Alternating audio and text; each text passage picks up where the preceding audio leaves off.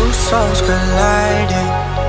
We shared the pieces of ourselves. It's perfect timing now. We fueled the flames, but we're still learning to trust. Learning